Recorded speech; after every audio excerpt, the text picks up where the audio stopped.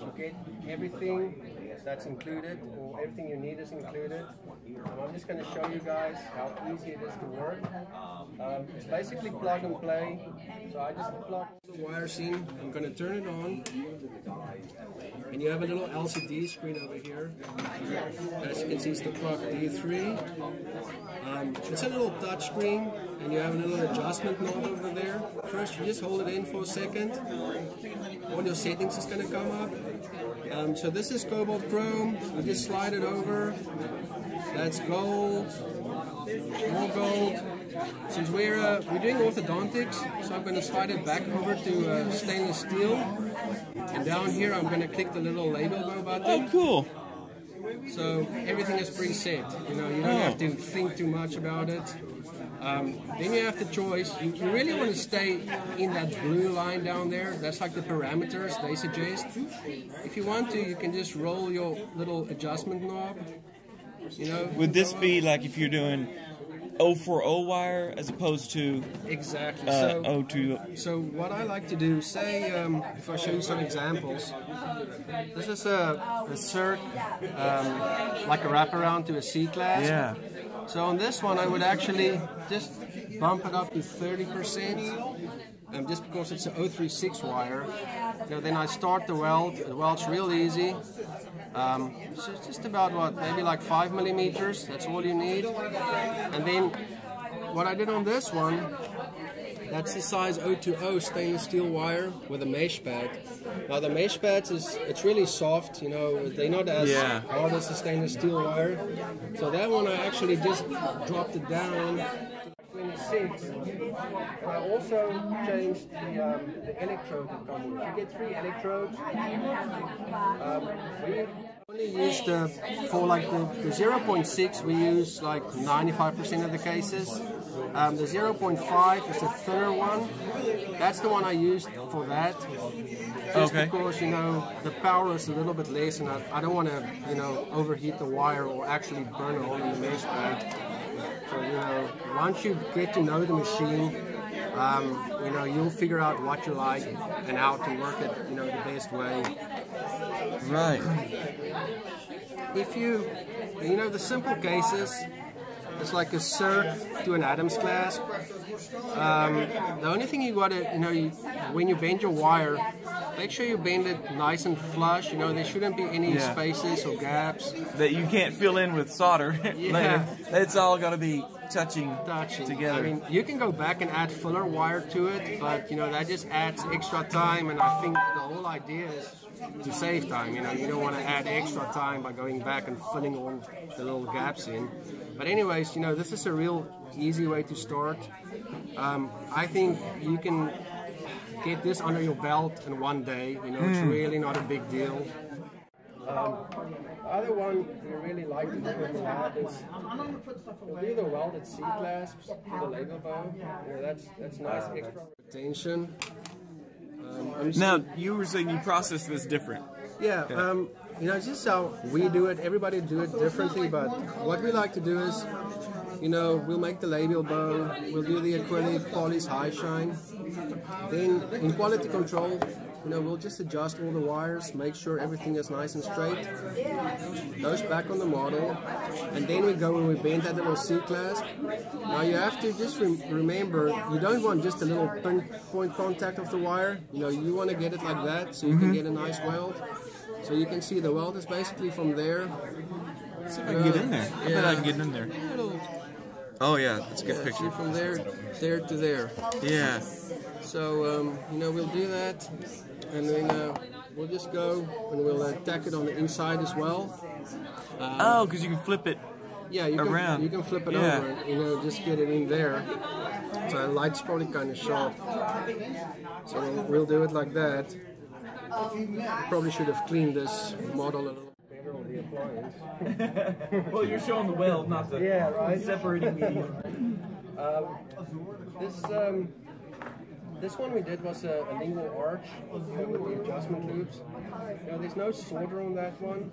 Now the adv- advantage of this is if you can use the use the PUK welder, the D3, you know, we welded it towards maybe right in the middle towards maybe the a little bit more towards the, the top there.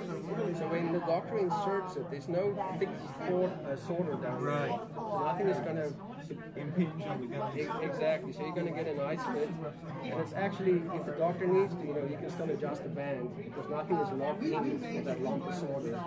solder. So that's one of the benefits as well. Now, uh, when you're doing a band, so thinner material, do you pulse onto the wire and splash it onto the band, kind of, or Welding the wire to the band is definitely more tricky than doing a certain pattern, but you know it doesn't make it difficult. You just have to practice. Right. So, so what we like to do is we would just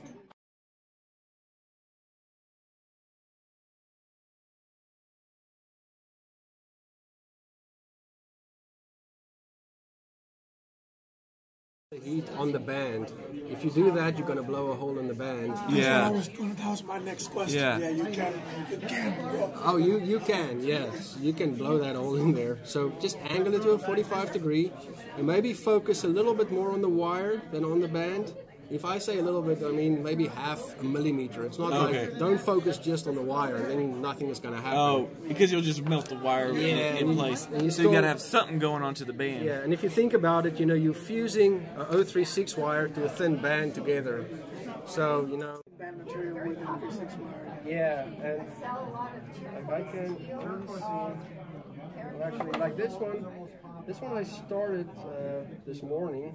I didn't finish it up yet, but as you can see, you know, right there I started the weld. I still have to, uh, you know, it's still sharp. I still have to uh, make that nice and smooth. So just ignore that. Focus on the weld.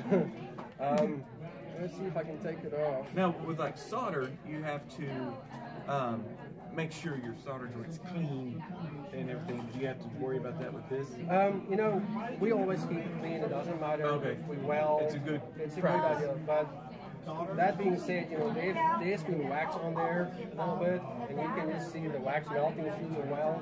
I mean, it all works fine, but it's, you know, Well, because that's what I was thinking was I saw the wax on there. yeah. You might as well just keep it clean and do it right. Right. The, the first time. So your initial weld, um, how do you make sure that your Electrodes? I couldn't, Oh, yeah, oh, oh, the little. was on it, was modeled the way, I mean, you have to make sure you have a clear connection. Um, yeah, you always want a clear connection. In the beginning, like say when I did this one, it's, I would you just want contact with that. You don't. You can hold it. Yeah, so I would just what I was press it with my finger, and I'll just weld the connection right there. Um, if you don't want to do that, you know, you can just maybe hold it, get maybe one or two welds on there, And then you can take it. take it off, clamp it, and then it's real easy to work with. And also, you really want.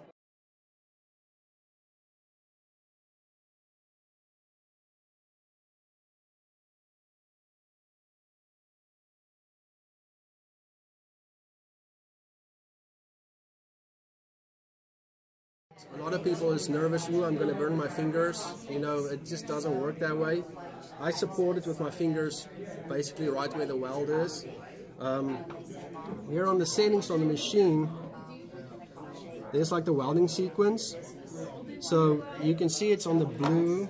It's like the first one. That's a little bit of a slower welding sequence. So it's going to be, you know, a little bit slower. If you click on it, you'll get a, a faster welding sequence. So that one's gonna tick tick tick tick tick tick. That's more for the advanced. If you like, if you're more advanced, or if you have a real steady hand. Um, I like, I just keep it on the slow. I mean, I feel I don't overheat my wire. You know, I'm not gonna anneal it. So you know that works really good. Um, another thing is, you'll see the, you know, when you weld it, it makes like a real bright light. So there's a filter on the inside that actually protects your eyes.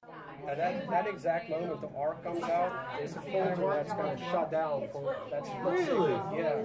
All happening in All in happening. here. in- there's a lot going on. You got you got that sharp electrode that retracts.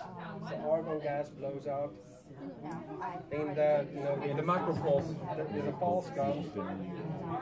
And it's a microsecond movement. Yeah, the filter It's like a goes. camera shot. Kind of like a welding mask. Yeah, Or a camera shot. yeah. Oh, like a. Like camera lens. Does it go completely black? It goes completely black, but it's, it's super fast. You can see it. Yeah, Like It's like a, a shutter flash, like you were saying. yeah. So you know, you're not going to damage your eyes. You don't have to worry about that. So you know, it's high quality. So, uh, this is it. That's the whole thing. That's it. I mean, it's nice and small. I mean, you can move it around. You can have one or two technicians on the different desks actually working. You know, you can have one, you can have unit? one. Yeah, just have a few. If you want to have a few units, you know, it doesn't take up a lot of bench space. You know, that's kind of the point I'm trying to make.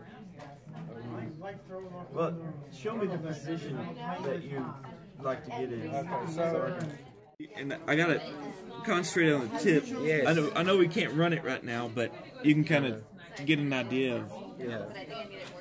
So It's actually better to look at the camera than it is the. Because I got it, I got it dimmed to take out the brightness. awesome. Now, is, does it dim in there? Very, very right now, no, It's that bright. it's nice and bright. Okay. So you got the camera or the phone will, uh, So how, how we do it, you know, you get your crocodile clamp on. And that grounds or grounds it. I'll Yeah. say grounds it. So you always, just basically to explain it, you want to weld it in a straight line like that. It Oh, just- okay. You know, for me it's really easy. You start at the top and you just weld your way all the way to the bottom. Sometimes, you know, start at the bottom, work your way up. You know, whatever works for you.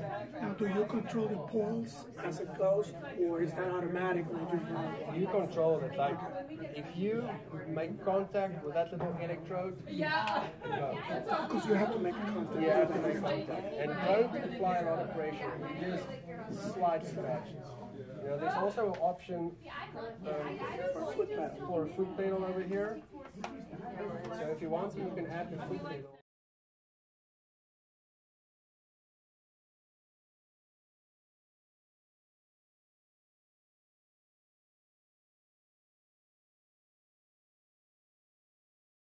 Like this, I feel I have better control. You know, I don't have to worry about my food and everything. I can, Or it slides under the desk and you're yeah, doing like, this. like where is it? yeah. does the needle draw back? Yeah, the needle at that the needle draws back, then the gas comes Oh, out. so you don't have to push the needle back. No, no. You touch it and it Yeah. pulls up. It retracts. Oh, Yeah. okay. Yeah. There's actually there's a lot of YouTube videos on the machine as well.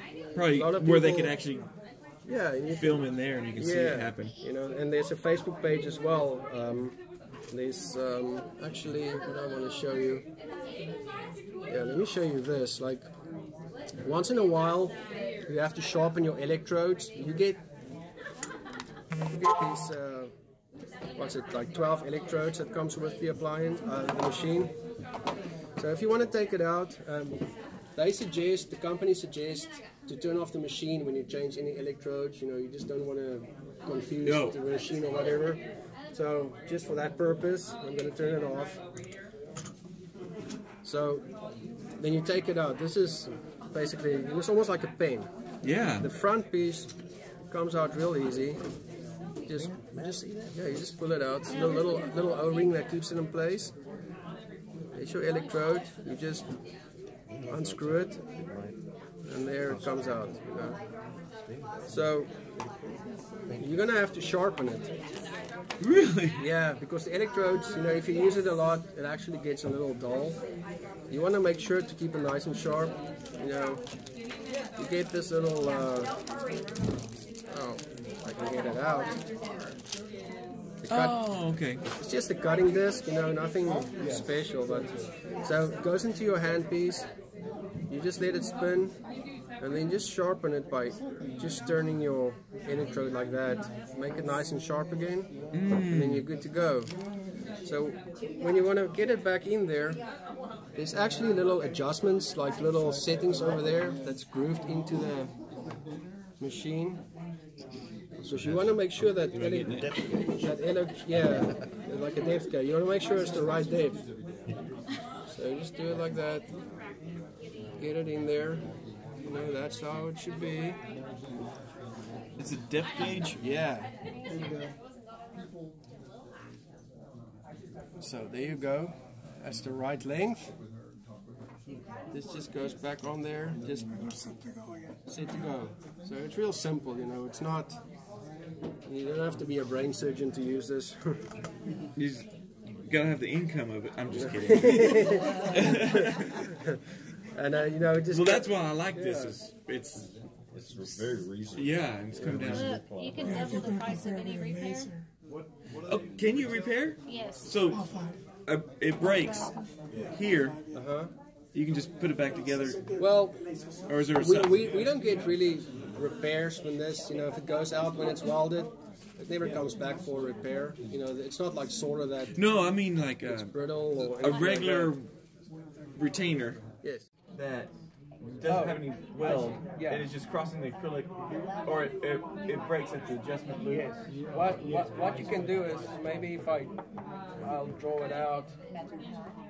Oh,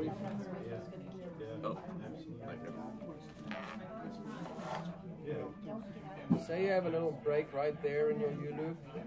You know, you can you know, just adjust your wire back. Just stack that little piece, and then weld a secondary wire right there, just to strengthen Oh. it. Like a fill wire. Yeah, so just like a little piece of 028, just to make sure it goes over the, the breakage in the weld, and that's how we will do it.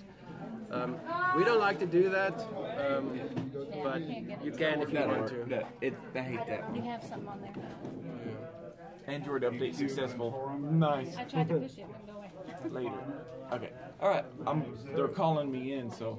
Uh, I, I think we're basically done. I Okay. mean, yeah. Well, your your name. Gerhard, Gerhard. Inman Orthodontics, Okay. and uh, This is with the Lampert. Yeah. Where can they go? What's this? Lampert.com. Yeah, that's uh, I, what they can call. Uh, I hope you can see that. It's Robert.